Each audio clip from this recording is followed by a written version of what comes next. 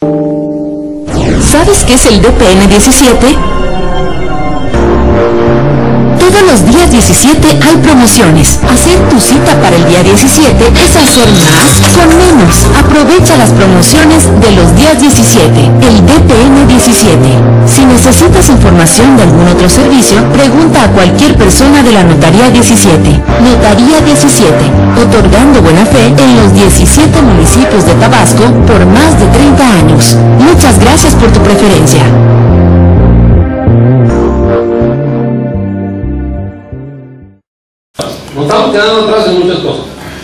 Pero es importante que en esto las jóvenes generaciones aprendan a usar estas redes sociales. Una más, por favor. ¿Para qué utilizamos Internet en México? El 70% para enviar y recibir email. Es una función muy interesante, pero es muy básica. Es el ABC. Así empezamos hace 10 o 15 años. El 58% para recibir o enviar mensajes instantáneos, 41% para chatear, 34% para subir videos o fotos en un sitio, 26% envía postales electrónicas, yo nunca hablo ninguna, me llegan postales, me envió un salito, un salito. Nunca hago postales de conocimiento, no sé qué sea. Acceder a blogs, bitácoras personales, etc. ¿Es cierto no? Bueno, una más, por favor. ¿Hablan más con sus amigos desde que son tuiteros o menos? Más pero ¿Nos vuelven antisociales o más sociales? O, a lo mejor hice mal la pregunta. ¿Vemos más físicamente a nuestros amigos? ¿Tener, tener una vida activa en las redes sociales incentiva a que uno un viernes en la noche se quede en su casa? No. Digan la verdad. Claro que sí, dice Ileana, y tiene razón, porque yo un viernes a las 11 pregunto de repente, ¿ya están dormidos? Y 7 mil me... Aquí estamos, doctor.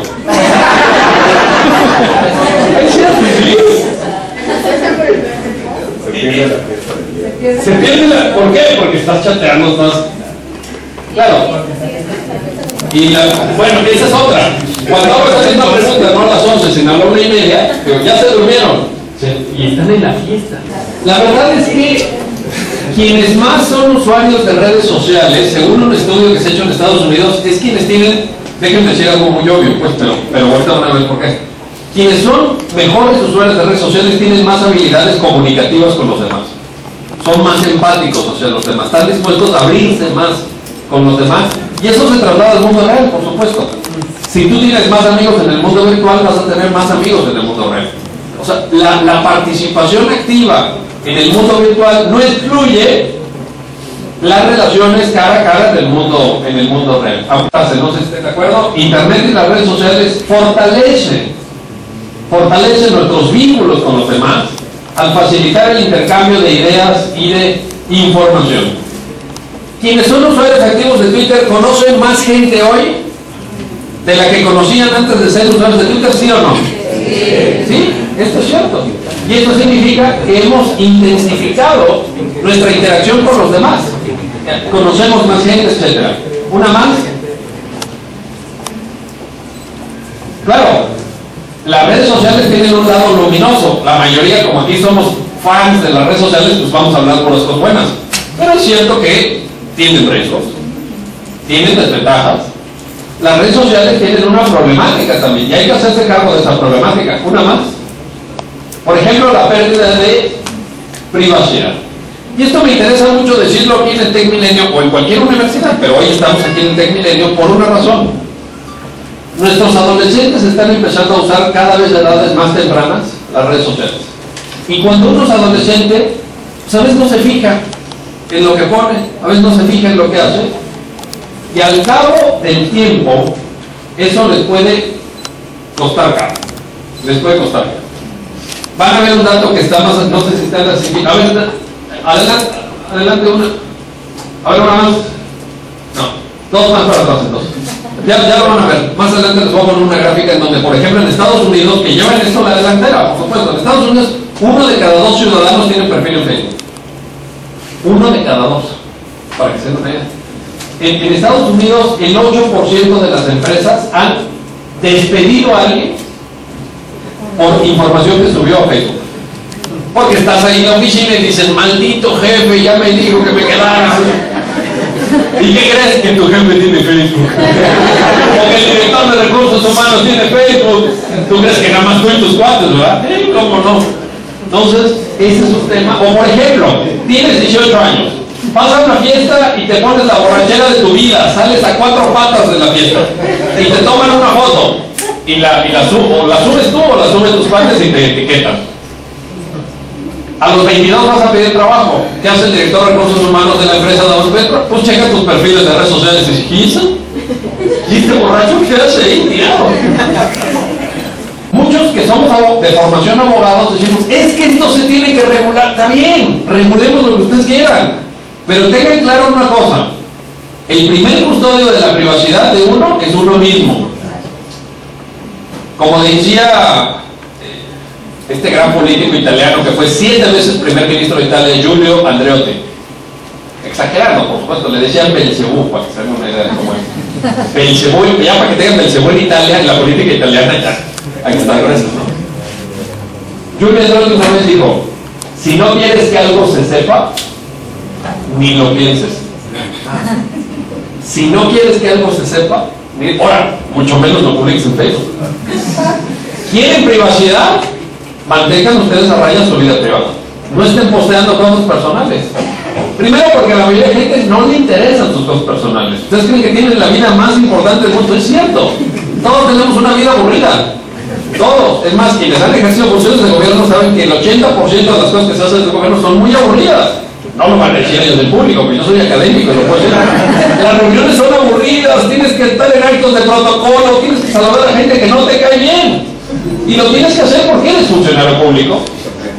Y sonríe, y además tienes que sonreír. Mientras le das la mano a alguien que te cae muy mal y vas a tener que pasar con él dos o tres horas platicando. Entonces, la verdad es que la vida personal de la mayoría de nosotros tiene que estar a resguardo por deseo de uno mismo.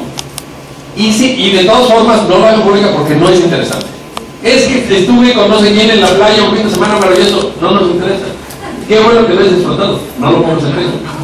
Porque te vas a repetir. Una más, por favor.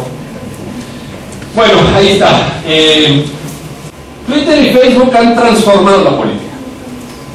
La semana antepasada vino este periodista que trabaja en Univisión a México, Jorge Ramos, porque publicó un libro que se llama Los, Los Presidenciales y lo entrevistó el periódico Reforma.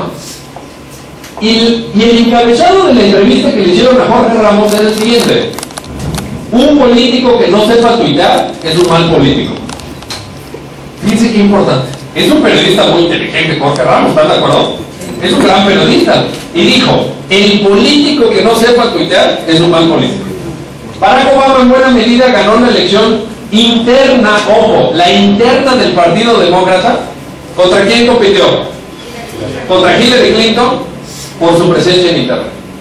¿Por qué? Barack Obama armó una lista de correos electrónicos de 13 millones de direcciones y mandaba un email diario con información de su campaña.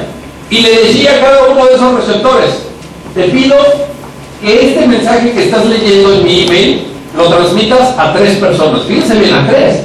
No te pido que hagas un meeting, no te pido que organices una conferencia, no te pido que te traslades 100 kilómetros. Te pido que a las tres personas más cercanas que tengas le comentes lo que te estoy este, enviando en este mail. Resultado, 35 millones de personas todos los días hablaban acerca de la campaña de Barack Obama. Bueno, eso es una muy buena base electoral para empezar una campaña. Los videos de YouTube, porque Barack Obama es muy buen eh, orador, ¿no es cierto? Tiene gran habilidad oratoria Barack Obama, y hay videos en YouTube de Barack Obama que los han visto millones de veces.